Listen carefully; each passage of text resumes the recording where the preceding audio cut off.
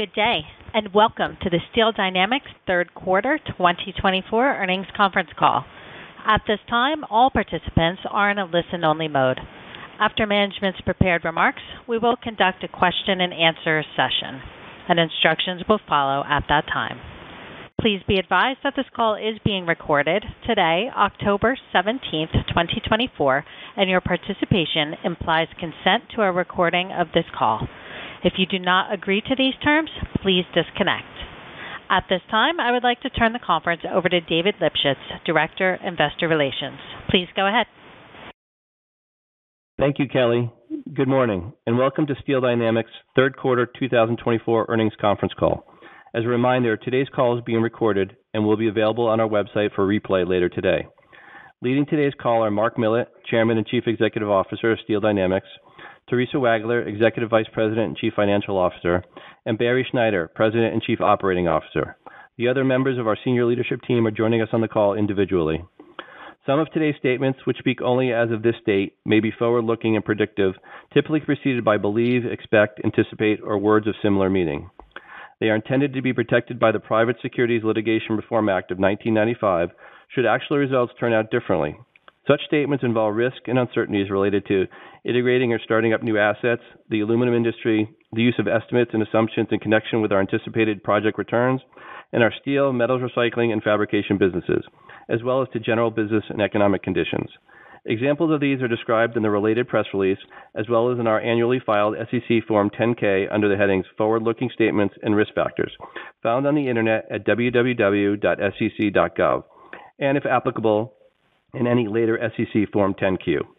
You will also find any referenced non-GAAP financial measures reconciled to the most directly compared GAAP measures in the press release issued yesterday entitled Steel Dynamics Reports Third Quarter 2024 Results. And now I'm pleased to turn the call over to Mark. Thank you, David. Good morning, everyone. Thank you for joining our third quarter 2024 earnings call. As you have read, and uh, seemingly many have concluded, our teams executed well through the quarter, achieving another solid financial and operational performance. Most gratifying uh, to us, to me in particular, was achieving another great quarter for safety. The ramp-ups of our four new value-add flat-roll steel coating lines have been an unqualified success, with the expectation of full earnings benefit in 2025. These lines represent an additional 1.1 million tons of higher-margin product diversification for us. In Texas, despite a couple of challenges early in the quarter, the Sinton team gained considerable momentum, running at a 72% utilization rate of scheduled runtime in September. We had extended periods in excess of 90%, and were achieved during that uh, that quarter, and I think it it proves the mill's ultimate capability. Steel shipments were 3.2 million tons, third quarter revenues $4.3 billion, adjusted EBITDA was $557 million, and cash flow from operations 760 million. As I stated, we had a great quarter in terms of safety. Historically, the summer months can be a challenging period, but the teams reversed that trend this year with an excellent performance. Not only was that trend reversed, but both our total recordable incident rate and lost time rates were the lowest in our history. Our employee dedication to our Take Control of Safety program is extraordinary. Our core safety teams visited 30 facilities in the third quarter alone, which is, I think, a clear testament to their commitment to keep each other safe. We continue to build a world-class safety culture, and the positive results have been clearly demonstrated. 84% of our locations in the third quarter did not have a recordable injury. That's 104 locations out of our 124, and 94% of them did not have a lost time incident. I'm continually inspired by the commitment of our team members have for one another. They really, truly consider themselves family and challenge the status quo every day to do better in every way. That's why we are so focused on providing the very best for their health, their safety, and their welfare. That said, there's still a lot of work to do as we strive toward a zero-incident environment. But with that, I will pause for uh, Theresa first, then Barry to add color for the quarter. Thank you, Mark. Good morning, everyone. Uh, We really do appreciate you taking the time to be on the call with us this morning, and I want to add my thanks to our teams for a really solid performance this quarter. As Mark suggested, our third quarter 2024 net income was $318 million, or $2.05 per diluted share, with adjusted EBITDA of $557 million. Third quarter 2024 revenue of $4.3 billion was below sequential second quarter results due to lower realized flat-rolled steel pricing tied to lagging contractual volume. Our third quarter operating income of $395 million was 29% lower than sequential second quarter results, driven by steel metal spread contraction, as average realized pricing declined more than scrap raw material costs in the quarter. Our steel operations generated operating income of $305 million in the third quarter, lower than sequentially lower than sequential results due to average realized pricing declining $79 to $1,059 per ton, while total shipments were steady as increased flat roll volume offset lower structural and SBQ volume. For those of you that track our individual flat-rolled shipments quarter by quarter, in the third quarter, hot-rolled shipments were 942,000 tons, cold-rolled shipments were 118,000 tons, and coated shipments were 1,335,000 tons. For metals recycling, operating income was $12 million, lower than sequential second quarter results due to lower realized pricing and volume. In addition, we had an unrealized non-cash copper hedging loss of $10 million in September. We're the largest non we're the largest North American metals recycler processing and consuming ferrous scrap and non-ferrous aluminum, copper, and other metals, and we're growing in support of our increased steel and planned aluminum production investments through new and expanded relationships and through the use of innovative new separation technologies. I'm really proud of the team. They're also reducing operating costs very effectively.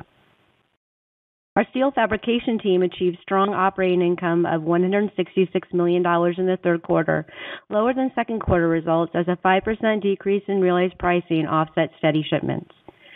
Order activity in the third quarter was the strongest we've seen this year, supporting our joist and deck backlog extending through the first quarter of 2025.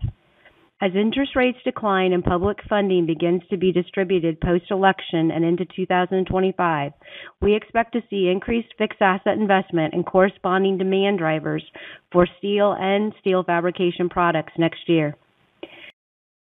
Regarding our aluminum investments, as a reminder, as we contra as we construct the aluminum facilities, non-capitalizable expenses are required to flow through SG&A until startup. As a result, our SG&A will be higher until we start operations in 2025. You have visibility to this amount provided in our supplemental data schedule. For the third quarter, it was $24 million.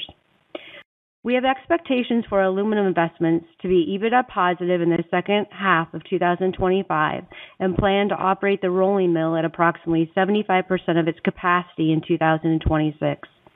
Mark's going to provide more details related to our ramp and product mix expectations later on the call, as well as define our differentiated cost expectations. The construction of the rolling mill and the San Luis Potosí Recycled Slab Center is going extremely well. Approximately $1.9 billion has already been invested through September of 2024, with expectations of funding between 350 to $400 million in the fourth quarter and the remainder then to be spent in the first half of 2025. Our cash generation continues to be strong based on our differentiated circular business model and highly variable cost structure. During the third quarter of 2024, we generated cash from operations of $760 million. We ended the quarter with strong liquidity of $3.1 billion, comprised of cash and short-term investments of $1.9 billion, and our fully available unsecured revolver of 1.2 billion. For the fourth quarter of 2024, we believe capital investments will be in the range of $500-$550 million. Preliminarily, we believe 2025 capital investments will be in the range of $700-$800 million. We repurchased $917 million of our common stock year-to-date 2024, representing 4.5% of our outstanding shares, and as of September 30th, we have $486 million remaining available for share repurchases. Our capital allocation strategy prioritizes high return strategic growth with shareholder distributions comprised of a base positive dividend profile that's complemented with a variable share repurchase program while we remain dedicated to preserving our investment grade credit designation. Our track record is proven, achieving five-year after-tax return on invested capital of 24% during a period of transformational growth and strong shareholder returns. Our free cash flow profile has fundamentally changed over the last five years, from an annual average of $540 million to $2.9 billion, excluding our large strategic Sinton and aluminum investments. In July, we successfully issued $600 million of investment-grade notes with a 10-year tenure in anticipation of repaying $400 million of our notes that are due this December. Before I conclude, I want to thank the decarbonization and biocarbon teams. I'm proud of them and excited about the recent announcement concerning our new certified science-based greenhouse gas emissions intensity targets for our steel mills, which are aligned with the 1.5 degrees Celsius scenario set forth in the Paris Agreement. In fact, our steel mills are already well ahead of that curve. We recently set both a 2050 emissions intensity target, which is aligned with the International Energy Agency's net zero by 2050 industry targets, and an interim 2030 target, which represents a 15% reduction in our greenhouse gas intensity. These targets were established using the Global Steel Climate Council's Steel Climate Standard, of which we are a founding member. The biocarbon project is also going incredibly well with expectations for a first quarter 2025 start. Sustainability is a significant part of our long-term value creation strategy, and we're dedicated to our people, our communities, and our environment. We're committed to operating our business with the highest integrity. We uniquely have an actionable path toward carbon neutrality that is more manageable and we believe considerably less expensive than may lay ahead for many of our industry peers. Our sustainability and carbon reduction strategy is an ongoing journey, and we're moving forward with the intention to make a positive difference. Thank you. Barry?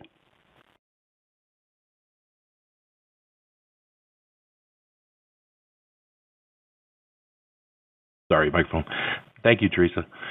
Our steel fabrication operations performed well in the third quarter, achieving historically strong earnings and steady volume in the quarter. Our steel fabrication order backlog remains at a healthy level, extending through the first quarter of 2025. We remain optimistic as it relates to demand for the steel joist and deck markets over the next number of years, based on a moderating interest rate environment, continued manufacturing onshoring, and public funding for infrastructure and other fixed asset investment programs. The uplift from this macro environment could be considerable for this platform, as well as our steel operations. Our steel fabrication platform also provides meaningful volume support for our steel operations, which allows us to constantly operate at a higher through-cycle utilization rate. It also mitigates the financial risk of lower steel prices. The metals recycling team did a good job navigating a challenging marketing market environment in the third quarter. There were a number of domestic steel mill outages, which decreased ferrous scrap demand, coupled with pricing volatility. Ferrous scrap prices have stabilized, and we believe should remain relatively stable through the rest of the year, subject to seasonal moves.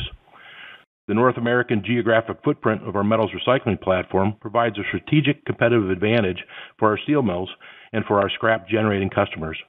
Our Mexican recycling locations competitively advantage our Columbus and Sinton raw material positions. They also strategically support increased procurement of aluminum scrap for our future flat-rolled aluminum operations. Our metals recycling team is partnering even more closely with both steel and aluminum teams to expand scrap separation capabilities through process and technology solutions. This helps mitigate potential prime ferrous scrap supply issues in the future. It also provides us with a significant advantage to increase the recycled content in our aluminum flat roll products and increase our earnings opportunities. The steel team also had a solid quarter, achieving steady shipments of 3.2 million tons. During the third quarter of 2024, the domestic steel industry operated at an estimated production utilization rate of 78%, while our steel mills operated at a rate of 86%, excluding our Sinton operation.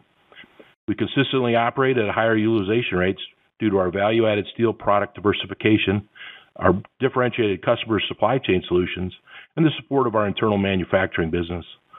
The higher through-cycle utilization of our steel mills is one of our key competitive advantages. supporting our strong and growing cash generation capability and best-in-class financial metrics. Our realized average flat-rolled steel price declined in the quarter due to contract lags, but prices stabilized and improved in the quarter. Positively, value-added flat-rolled steel pricing spreads remained resilient, supporting our earnings as we are the largest producer of these products in North America and growing. Our activity is solid heading into the fourth quarter with normal seasonal trends expected. In general, our flat-rolled steel mills' lead times are actually at levels higher than we've seen over the last six months. Underlying steel demand remains steady, but a surge in steel imports put pressure on the supply dynamics in certain product areas, specifically for coated flat-rolled steel up products. In response, we levied a trade case, and we expect to get a preliminary ruling from the ITC in a few weeks. Our Sinton, Texas flat roll steel mill team successfully completed needed changes early in the quarter to access 100% of the mill's melt capacity. The team experienced some difficulty ramping back up after the outage. However, the reliability of the mill improved dramatically in September, and the company believes Sinton's product utilization rate will increase to around 75% for the full for the fourth quarter of 2024. Also, the additional two new value-added coating lines were successfully commissioned and have commenced operations, improving the mill's value-add product mix and through-cycle earning capability. Regarding the steel mill market environment, North American automotive production estimates for 2024 were recently revised to stable production over the next several years. Automotive dealer inventories also continue to remain below historical norms. Non-residential construction remains stable with slowdowns across some industries. However, we believe moderating interest rates will unlock pent-up project work and create new opportunities in 2025. Additionally, onshoring and infrastructure spending should provide further support to fixed asset investment and related construction-oriented products. As for the energy market, the solar industry continues to grow and be a meaningful part for both our flat-rolled products and structural sections. Oil and gas also remain steady. Looking forward, we are optimistic regarding steel demand and pricing dynamics as we end 2024 and get ready to enter 2025. With that, send it back to Mark. Super. Thanks, Theresa. Thank you, Barry. Well, it's uh, more than evident that our performance-driven, employee-centric culture, in combination with a proven, highly diversified value-added business model, drives superior through-cycle financial metrics. Our consistently strong operating and financial performance continues to support our cash generation and growth investment strategies, allowing a balanced cash allocation strategy that has consistently delivered best-in-class shareholder returns. For instance, our investment strategy achieved a three-year return on invested capital of 32% from 2021 through 2023, compared to only 12% for the S&P 500. And our disciplined high-return investment approach continues. As I said, the four value-added flat-rolled steel coating lines are increasing volume and performing very well from a quality perspective. These types of high-return investments are key to our value-added product and supply chain differentiation strategies. As I mentioned, also, Sinton continues to improve its operational reliability with expectations for a strong production capability in 2025. Our recent aluminum growth strategy is especially compelling. The market environment in aluminum is not unlike uh, the steel uh, uh, industry was when we started SDI 30-plus years ago. It has older assets, heavy legacy costs. A lot of the facilities are inefficient and high cost, and they've had uh the industry in general has had difficulty in earning the cost of capital, and hence there's been little investment in facilities and new technologies uh, in recent years. But unlike our steel entry, the the uh, one huge positive is that the uh, there's a significant deficit in aluminum, just in North America in general, and that deficit is expected to grow considerably. There's a clear business alignment. Uh, they leverage our core core competencies, uh, core competency of of, construction and operational know-how, and uh, one only has to look at the the drone video on our on our website to see the the extraordinary progress the team has made constructing the new mills. Uh, It also will leverage our our performance-driven culture, driving higher efficiency and lower-cost operations. It also leverages Omni's recycling footprint. As Theresa suggested, we're the largest North American aluminum scrap recycler, and we also are developing some in-house uh, new technologies to uh, separate 5000 and 6000 series uh, alloys. It's a very, very cost-effective and a high-return growth opportunity for us. Construction of the expansive rolling mill in Columbus, Mississippi, as I said, is proceeding at an extraordinary pace, and I believe the aluminum industry is now recognizing that we truly will be a force to be reckoned with. The future customer base across all sectors is excited to have a new market entrant that is known to be innovative, customer-centric, and responsive to their needs. Commercial arrangements are being put in place to match an order book to our ramp-up needs in 2025. Responses from existing and new customers across the markets remain incredible as they thirst for new supply. As in Sinton, we're developing an on-site industrial park to locate aluminum processing and consuming facilities. Two arrangements are currently being negotiated that would create approximately 100,000 tons of annual ton uh, of um, uh, processing capability per year. And as our project has become a visible reality and our reputation permeates the aluminum industry, aluminum professionals have been knocking at our door, and we've been building on a phenomenal team with an in-depth knowledge of aluminum operations, commercial markets, process technology, and customer service. For those that may uh, not have heard uh, in our last call, uh, the scope of the facility is a state-of-the-art 650,000 metric ton a year aluminum flat roll facility located in Columbus, Mississippi. We'll have an optimized mix of 300,000 tons of uh, can stock, 230,000 tons of auto, and 130,000 tons of industrial and construction products uh, when uh, when we're up fully running. The actual site in Columbus, Mississippi, has a melt cast slab capacity of 600,000 metric tons, and it's going to be supported by two satellite recycled aluminum slab casting centers located in UBC scrap-rich regions. We expanded the project scope to include, as I said, additional scrap processing and segregation technologies to maximize aluminum recycled content. These in-house developed technologies are currently operating, successfully separating the 5000 and 6000 series alloys on a commercial basis every day. The team plans to begin production of slabs in San Luis Potosí, Mexico, in the first quarter of 2025. We will commission the Columbus Cast House in the first quarter of 2025, downstream lines in the second quarter, with commercial shipments in mid-2025, and that is absolutely on schedule. In 2025, we plan to begin production with a product product mix weighted to industrial and construction products as we qualify our can sheet in 2025 and auto products into 2026. We anticipate production to grow to 50% of our annual rate by the end of 2025 and expect 75% capacity in 2026. The project is expected to add $650 million-$700 million of through-cycle annual EBITDA, and we should generate uh, approximately $40 million-$50 million uh, through the recycling platform in addition to that. Although this computes to a higher EBITDA per ton than the industry has experienced in the past, we're confident in that projection. And the most significant savings are in four key areas: labor, recycled content, yield, and logistics.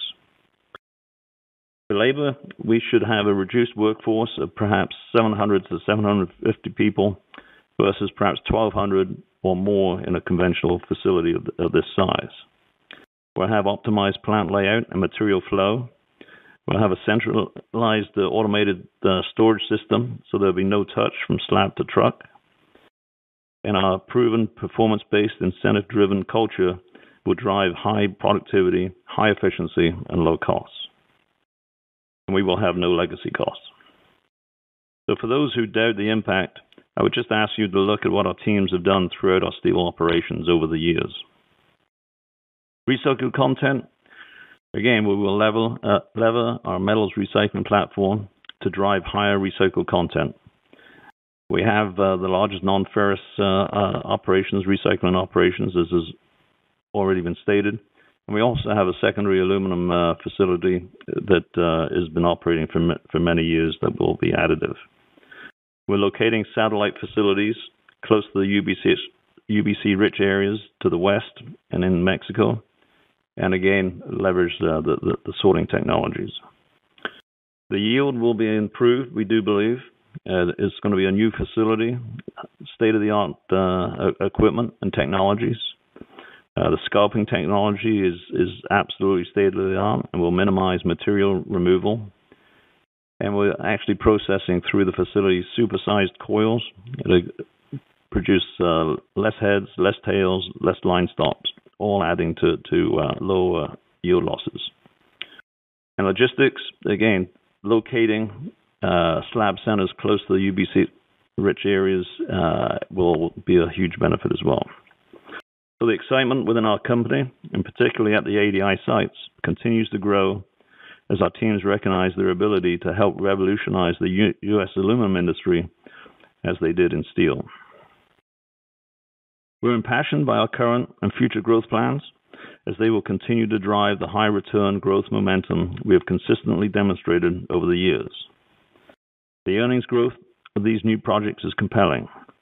The capital spending for Sinton, the four value add lines, and the Aluminum Dynamics is approximately 85% uh, complete, with an estimated collective future through cycle annual EBITDA contribution of over $1.4 billion.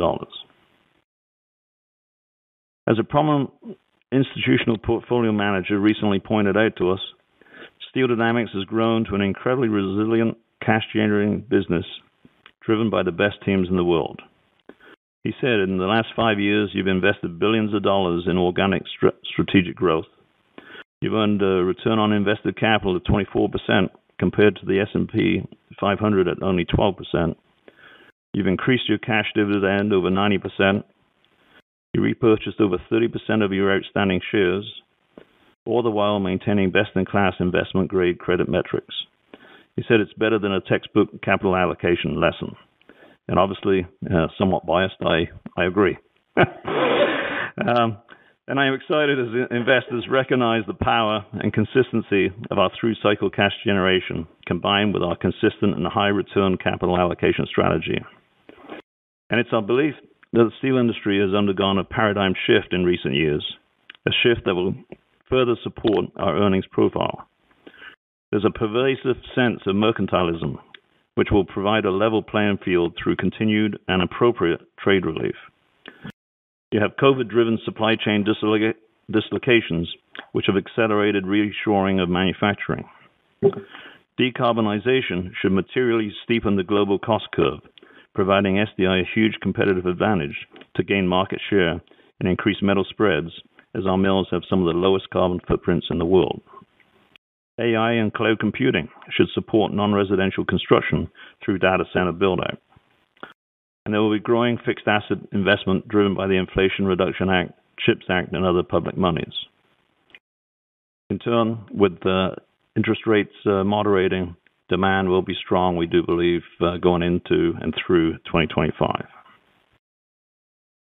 In closing, we've been blessed with good fortune, and our people are our foundation. I thank each of them for their passion and their dedication. We're committed to them, and I remind those listening today that your safety for yourselves, your families, and each other is our highest priority. Our culture and business model continue to differentiate our performance, leading to best-in-class financial metrics. We're an integrated metals business providing enhanced lower carbon supply chain solutions to our customers, in turn mitigating volatility in our cash flow generation and providing enhanced shareholder returns and value to all participants. We truly look forward to creating new opportunities for everyone today, tomorrow, and in the years ahead. So with that said, we will open up the call to our questions. Thank you. If you would like to ask a question, please signal by pressing the star key followed by one on your telephone keypad. If you're using a speakerphone, please make sure your mute function is turned off to allow your signal to reach our equipment. If you have pressed star one earlier during today's call, please press star one again to ensure our equipment has captured your signal. Also, we ask that you please limit yourselves to one question to facilitate time for everyone. Any additional questions can be addressed upon reentering the queue. Please hold just a moment while we poll for questions.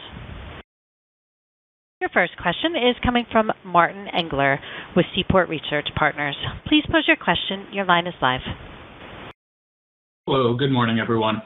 Um, you briefly touched on this in the prepared remarks, but for the Greenfield aluminum project, are there any other key personnel additions that are still needed?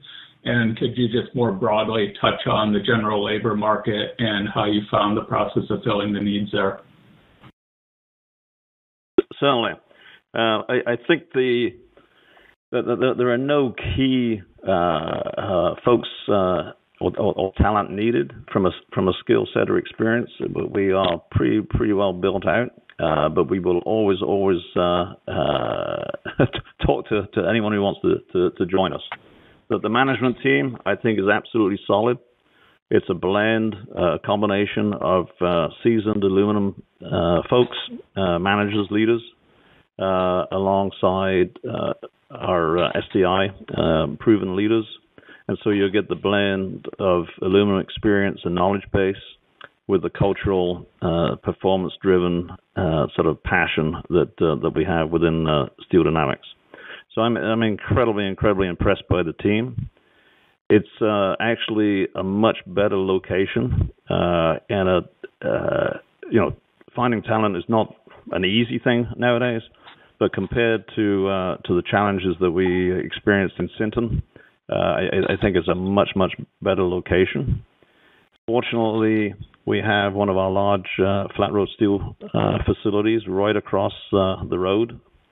That's allowing, again, a transfer of people at at all levels.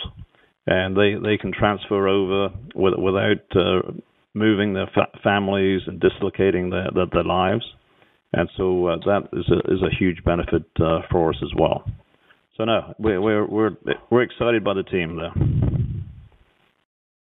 Excellent. If I could, one uh, last one. In steel fabrication, with more recent sales that you've had that have been added into the backlog over the past month or two, are you seeing any pockets of pricing strength relative to where you had been? Martin, I would suggest that, um, heading into the fourth quarter, we're gonna see that normal seasonality, um, that you typically see in anything that's tied to construction. But as we look at 2025, we definitely think that there's opportunity for, um, not just price support, but price appreciation, as we've talked about interest rate changes and additional demand coming from public funding, et cetera. So we're we're feeling really good with the, the steady aspect of what we've seen in the last six to nine months. Um, now, you know, we'll just get through the fourth quarter seasonality and then head toward what we think is gonna be a really robust 2025. Okay. Appreciate that. Congratulations on the results. Thank you. Thank you. Your next question is coming from Katja Jancic with BMO Capital Markets. Please pose your question. Your line is live. Hi. Thank you for taking my question. Right now, 80% of your business is contractually based.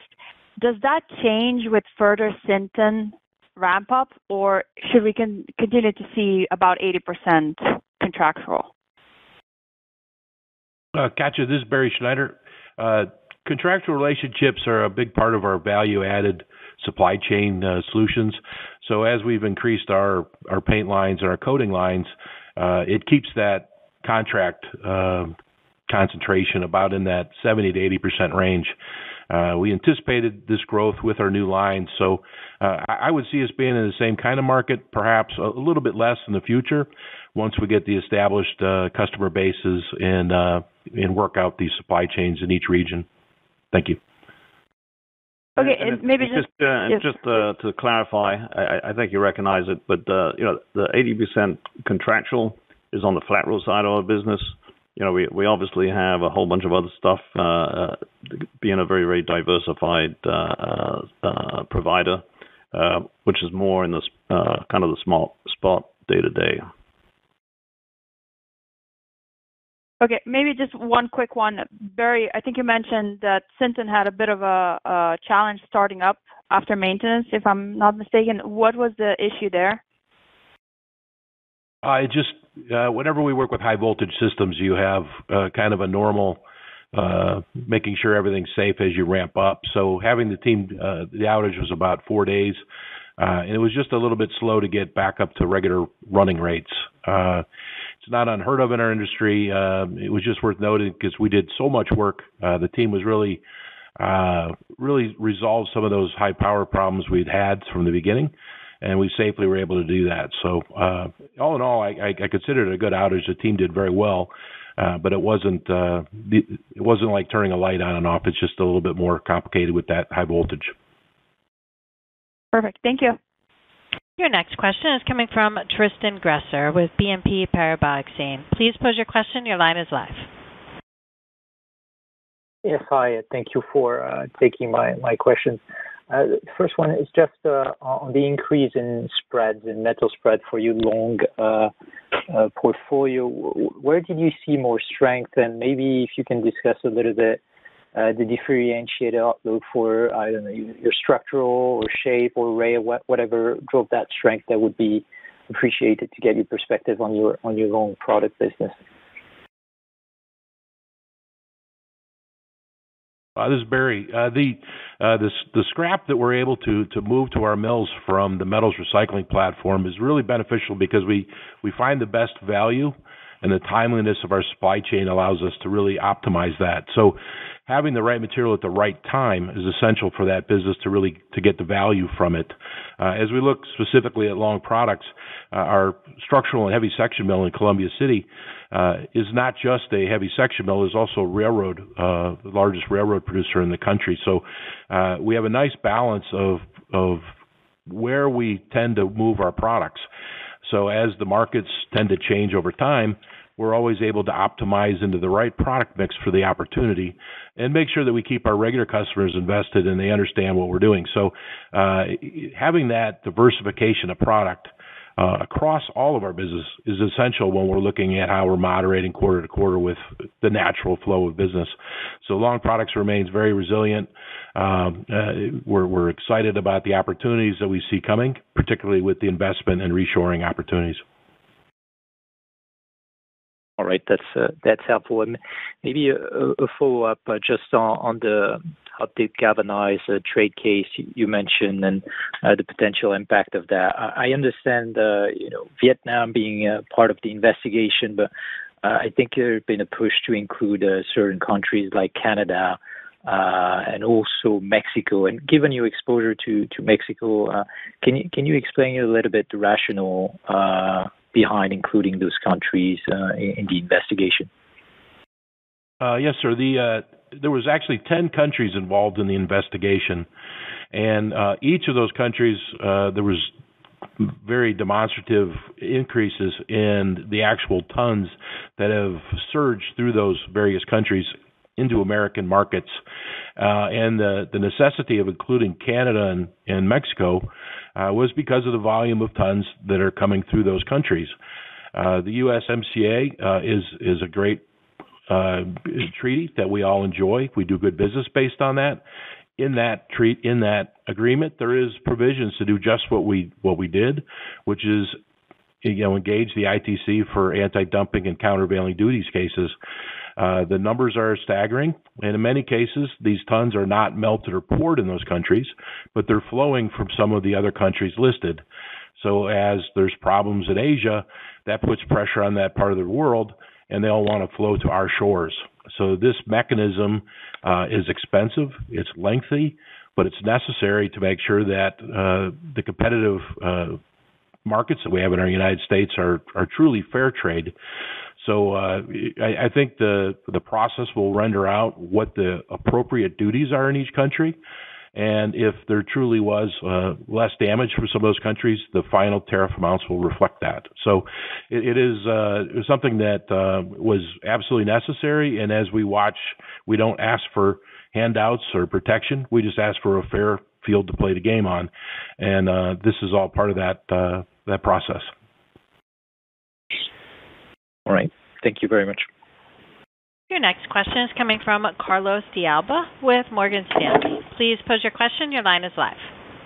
Yeah. Uh, thank you very much. Uh, maybe continuing with the conversation on the anti-dumping case, uh, somewhat related, the spread between galvanizing steel and cold-rolled coil has been depressed. Low levels, probably not economical. Um, if the anti-dumping investigation doesn't go your way, Um, or even if you don't see a big uh, improvement, uh, if if it does, what what is uh, Steel Dynamics as a leader in this sector prepared to do to to maybe enhance those spreads? Carlos, this is Barry again. We do anticipate great success with these trade cases, especially with certain certain of these countries that were the most egregious offenders. But we routinely evaluate how we move our flat-roll products through our our, our process lines. So uh, we routinely move hot roll all the way through the process into galvanized and painted. We make those decisions about where the margins are. So uh, we've been having very good success in dealing with these pressures over the last 12 months. Uh, and you can see from our earnings results that we're finding a solution to the problem. Uh, it has to do with we have so much diversity in our product mix that we respond to where we can go and be safe. So uh, I believe the ITC will come back favorable, particularly with some of the more egregious offenders. And that does create an opportunity for us to go balance into a product mix that is more uh, perhaps friendly to those times.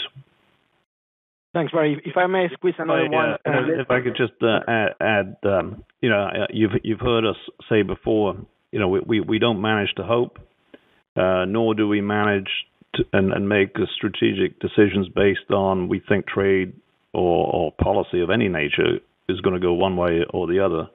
You got you you have to take control of your own destiny. And I think the teams, year over year, uh, do an absolutely phenomenal job uh, further diversifying our product mix. I think uh, I don't know what the recent number is, 65%-70% of our our flat-roll product mix, 65% is value-add. And when we say value-add, I'm talking about really value-add.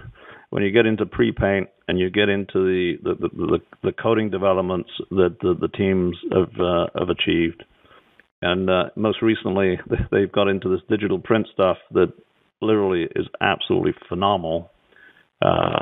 Wood grains for the garage door folks and architectural. You just have to have innovation and creativity continuing to drive up the the product mix.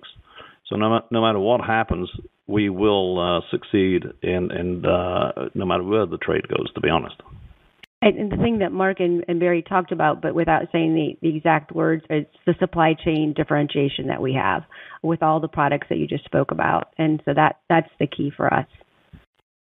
All right. Thanks. Just maybe if I if I may squeeze another one on on the steel fabrication business.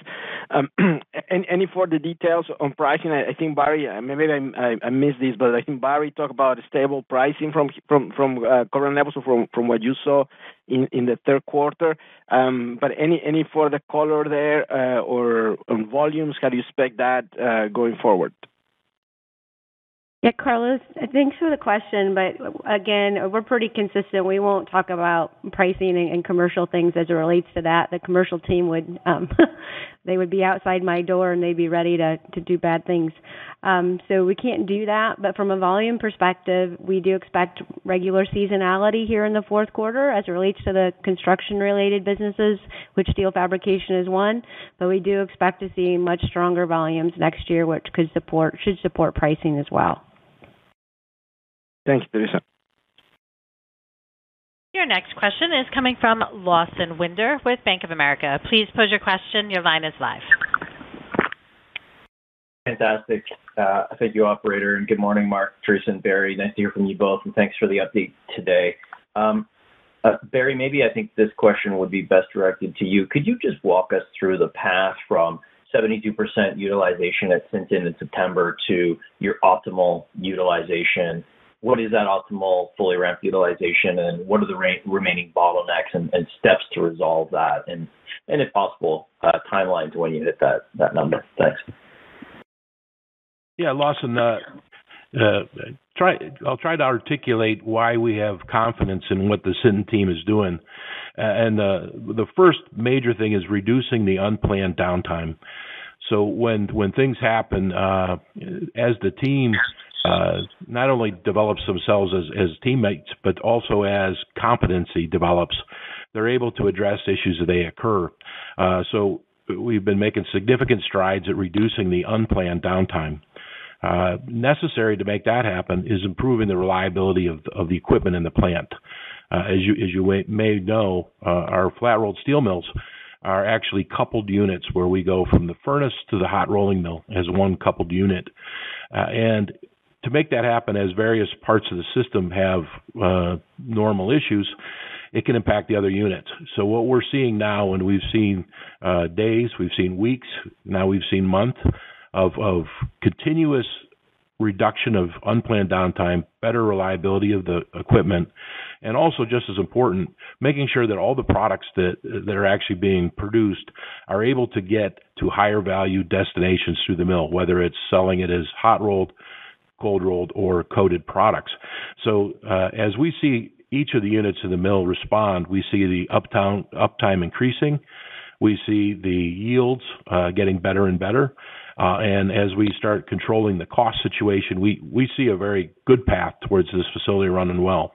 Uh, we have had weeks that uh, we're, we're nearly uh, at capacity, and that again is, is more reasons we have confidence in what we see. So we we see kind of the watershed moments happening under our feet.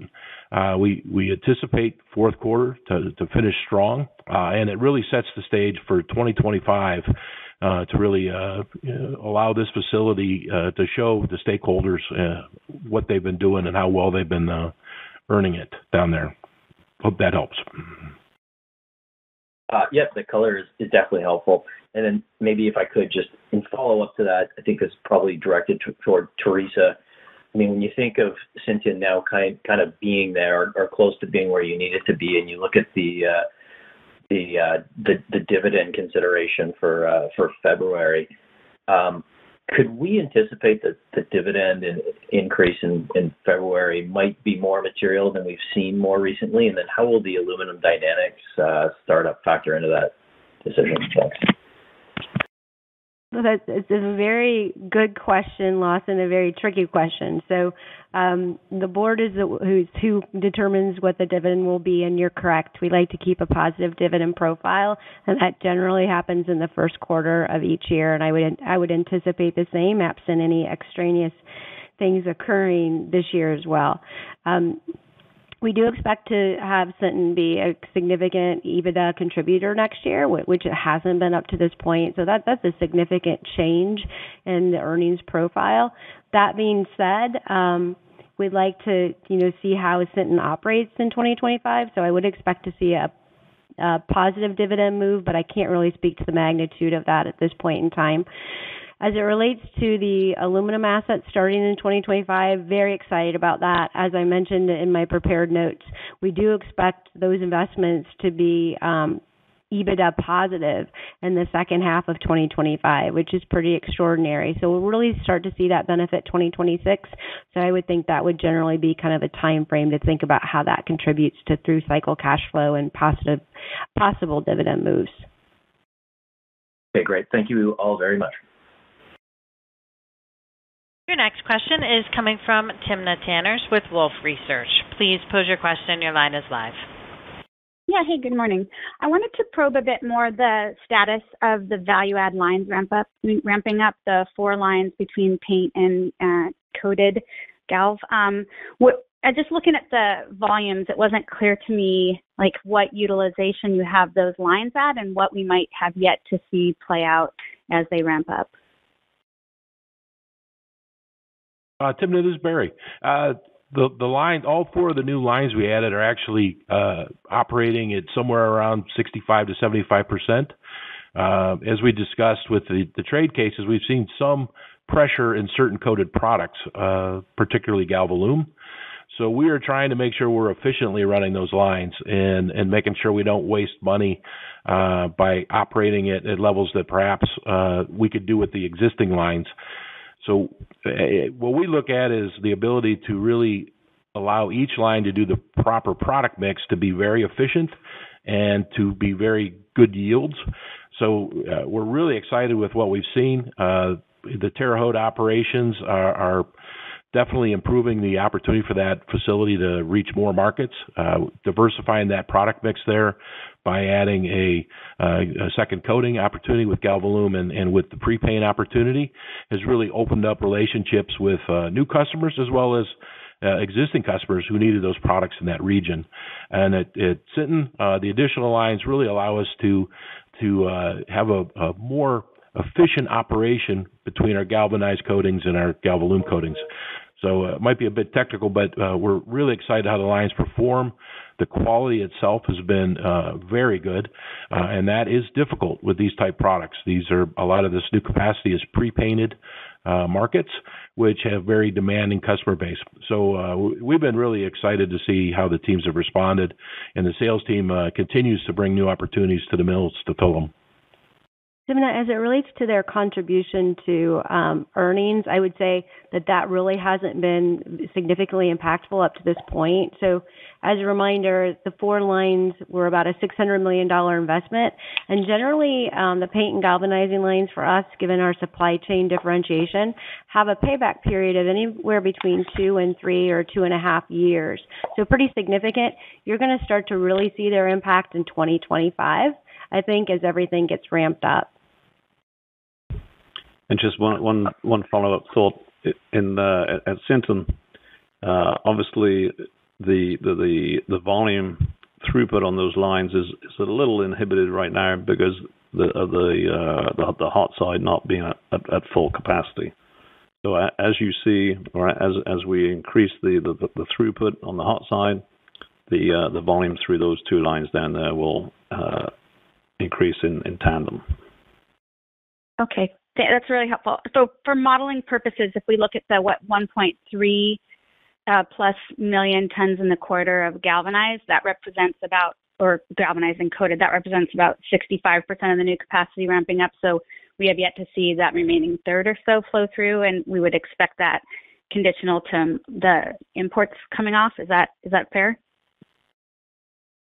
So in in that coated number, um, it's not just our lines that you're seeing, Timna. And, and no, it wouldn't it wouldn't show like shipments of of that at that rate because you also have our um, our United Steel Supply, and you have other processing facilities rolling through that um, that aren't really included. And a lot of the benefit of the additional volume in the third quarter actually came Um, through different avenues. So there's, I think I would suggest there's more volume that's still to benefit. It's not just a third. Okay, thanks. Oh, maybe I'll follow up line. Appreciate it. Your next question is coming from Bill Peterson with J.P. Morgan. Please pose your question. Your line is live. Yeah. Hi, good morning, and thanks for taking the questions. Maybe maybe following up some of the questions around utilization and also around the last question too. Can you help us understand uh, if Sinton's profitability meaningfully improved in the third quarter? Um, you know, I think it was around breakeven in the second quarter. And then on the four new coating lines, are these profitable yet? Uh, and I guess they're obviously related to some of the trade questions you were answering earlier. But if they're not, when would you expect uh, them to be profitable? Um, From the perspective of Sinton, no. In the third quarter, because we had additional um, outage time that Barry actually mentioned, and um, because we had additional maintenance costs related to that, um, Sinton wasn't EBITDA positive in the third quarter, but we have full expectations that it will be in the fourth quarter and and certainly next year. Um, As it relates to the lines, they're really integral into the operations of the steel mills themselves. To answer that question is a little bit a little bit difficult. Again, I would tell you, as as Mark mentioned earlier, and Barry, and now I will for a third time, um, we expect the value add lines to really benefit 2025. So As you think about your modeling, um, I would I would add that as an additional um, benefit for us that's outside of just normal market dynamics. Great. Thanks for that. On the on sort of the lower carbon uh, items, and thanks for providing the color there. It looks like on the biocarbon project particularly, it looks like it's gonna be a few quarters before operation. But what remains to be done before operational start? And then I guess, when do you plan to introduce internally produced biocarbon into your steel production flows? Uh, do you have, is there, I mean, is there a need for customer commitments for the products with this biocarbon? Or do you expect a premium for products coming uh, using that product? That's a good question. I would hope to have a premium, but Barry's laughing at me. So, um, so the the biocarbon facility, the team's doing a great job. Um, it's still under construction, and again, um, everything's pointing toward a first quarter 2025 start. Um, we will have that product. It's already been fully tested um, at each of the steel mills that will be receiving it.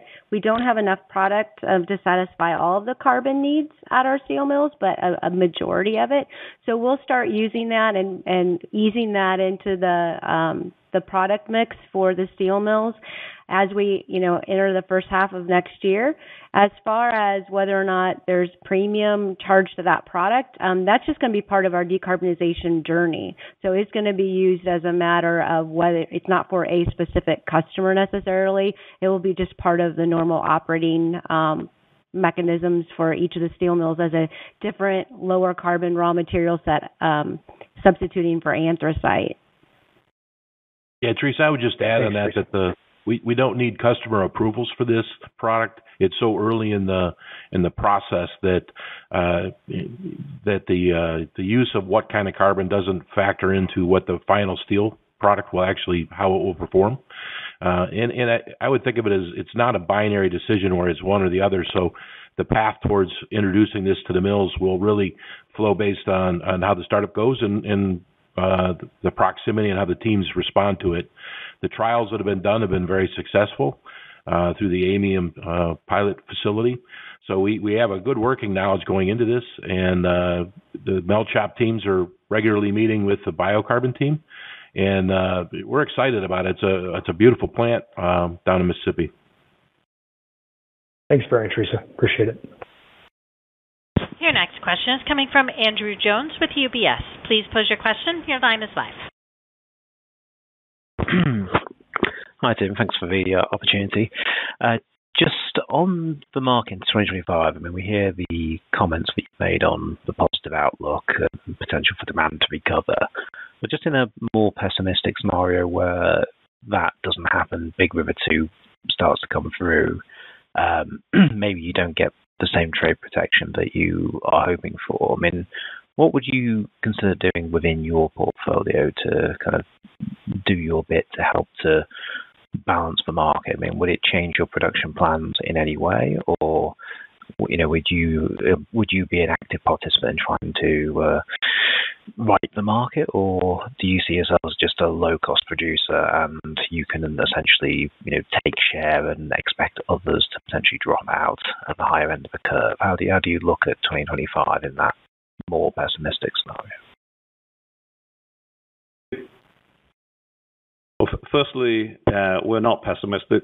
Uh, we're very, very constructive on uh, the future market in 2025 there there are too many things there that uh, uh, will, will will drive that. And our customer base in general, our customer base is is uh, is very very positive for 25. You should have a, a lower interest rate uh, environment that will kickstart uh, non-residential residential construction. You know, new millennium right now uh, the, the the order book, the the order, the the engineering, the the whole flow of things is is is strong. It just needs a, a slightly lower uh, interest rate environment for those developers to to, to push buttons and, and, and move forward. So again, just want to emphasize we're we're constructive on on the on the marketplace. Just in general, and it's, it's not a, a matter of 2025, or it's just a matter of any any uh, uh, market cycle. We we we will produce to to what our uh, customer base requires, quite simply.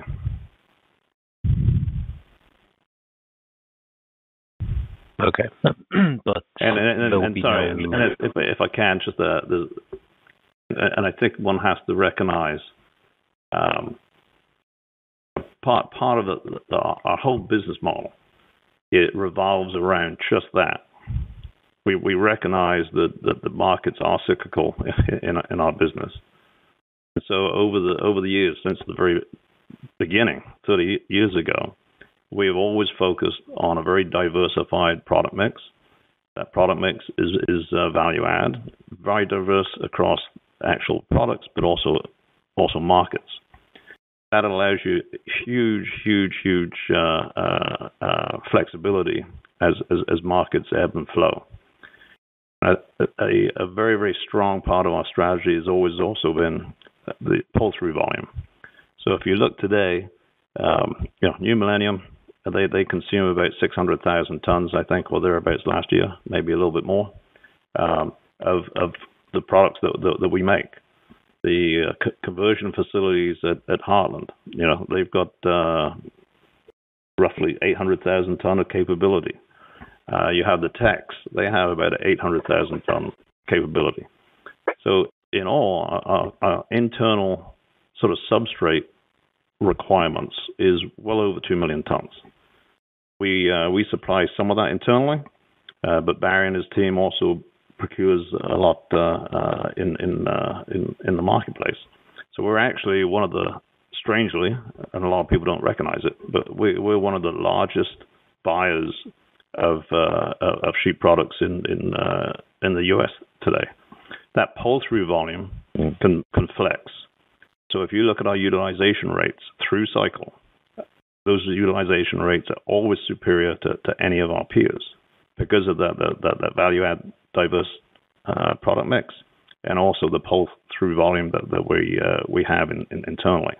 So even if it does come off a little bit, you will see that we retain our strong cash through-cycle cash generation capability without doubt. Mm-hmm. Okay. Fair enough. But no major closures of higher-cost lines or older lines or any sort of you know, reaction to kind of Sinton volumes potentially displacing volume somewhere else in the portfolio? That's not on the agenda. Sorry. I didn't hear that. That's okay. You would say no. No. Uh, no. Yeah. No. Okay. Cool. Okay. No worries. Thank you. Once again, if you do have any remaining questions or comments, please press star one on your phone at this time. Your next question is coming from John Tumazos with John Tumazos Independent Research. Please pose your question. Your line is live. Thank you for taking my question. Looking out a couple years, uh, which sectors do you think are most fertile for the next big investment? Uh, this year, U.S. aluminum demand is trending up 5%. Steel has been uh, down in apparent demand five out of six years now, and lots of companies have built a lot of steel capacity. Could we expect that aluminum or recycling or some other new area is the candidate for the next big project in 2026 or 7 or 8? Well, firstly, John, we will always take your question, sir. Um, the uh, as I look across the uh, our portfolio, uh, we're not strong um, strong on the recycle markets just in general. Uh, Where there uh, are regional-focused um, uh, opportunities to to to vulcanize our supply chains, we we certainly will anticipate that or look at that. But I think we we have a a good recycle sort of platform. You will see us grow here and there to to, to expand our aluminum supply chain.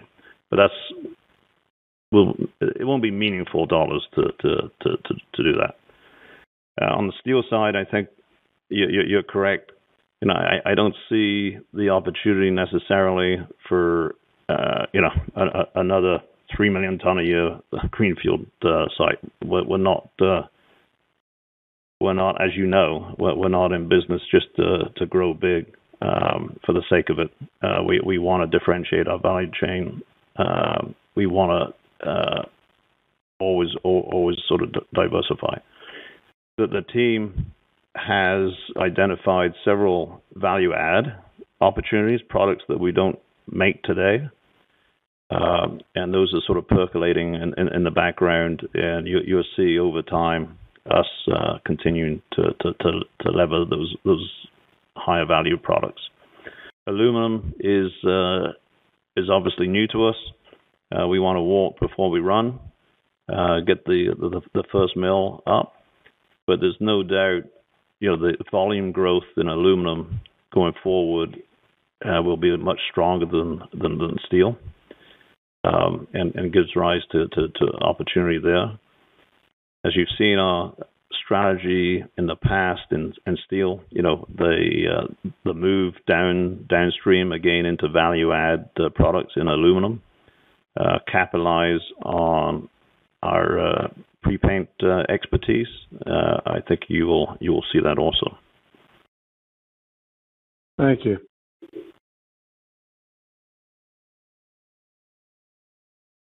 That concludes our question and answer session. I would like to turn the call back over to Mr. Millett for any closing remarks.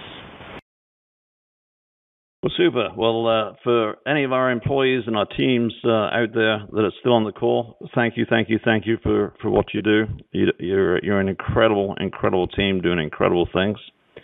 Uh, we can't do what we do without a loyal customer base. And again, thank you thank you, thank you for for your support over the years. We will continue to try and, and bring value, create value for you. Uh, shareholders that are uh, on the line that uh, own us, thank you.